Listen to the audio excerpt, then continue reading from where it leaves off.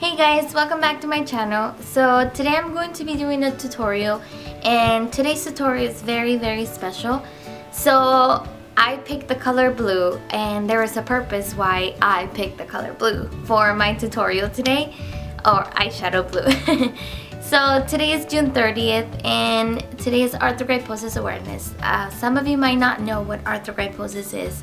Um, Arthrogryposis happens one in every 3,000 uh, was born with arthrogryposis.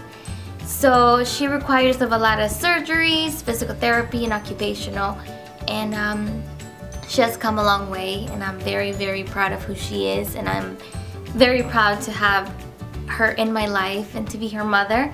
And um, yeah, so I wanted to share with you guys and I also want you guys to meet her. So um, yeah, so don't forget to wear blue today which is June 30th and yeah so hashtag I believe it is let me check let me double check so the hashtag is blue for AMC uh, just like the movie theater AMC so you can hashtag on Instagram, Facebook, I'm assuming Twitter. I don't have a Twitter, so I'm thinking Twitter as well. And if you'd like to learn a little bit more about what Arthrogryposis is, I'm going to put a link down um, below. So you, or you can also go to amcsupport.org and you can learn about what Arthrogryposis is. That is seven year or six years old. Six.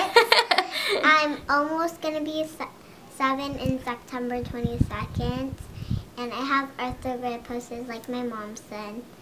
And the most amazing little girl. I have asked for poses. Um, it happened during my pregnancy. It wasn't something that I could have controlled. So it was just a random thing that happened to me. It was one out of 3,000, so I was a pretty lucky one to have Rosa.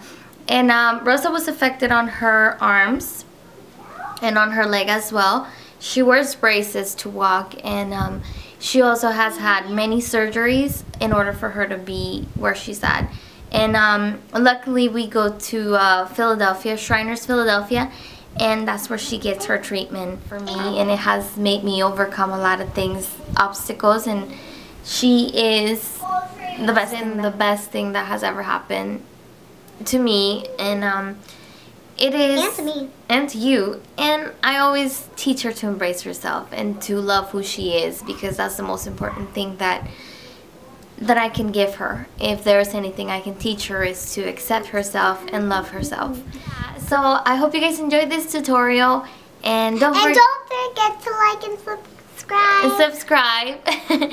and I hope you guys like it. So you guys are not going to see me without makeup. So this is the look that I created. And yeah, and um, she won't let me borrow some of her makeup. She wants to wear makeup already. I love her lipstick. But anyway, so thanks for